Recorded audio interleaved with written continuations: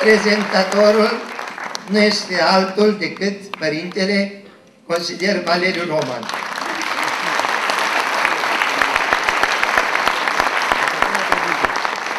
Îi mulțumesc foarte mult pentru că el a animat pe toți tinerii aceștia.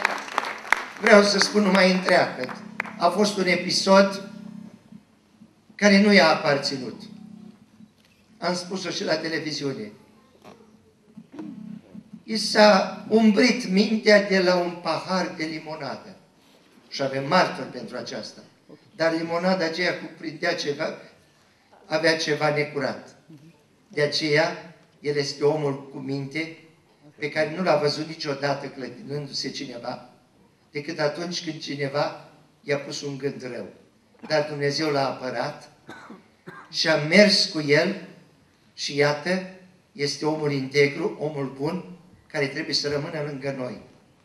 Dumnezeu i-a iertat pe tălhari, pe desfrânate, pe toți ucigașii.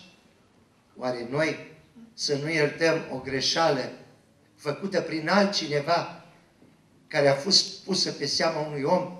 De aceea vă întreb pe dumneavoastră și cred că sunteți de acord că oricine trebuie așezat unde este locul. De aceea am vrut ca în seara aceasta să vă prezint și această situație.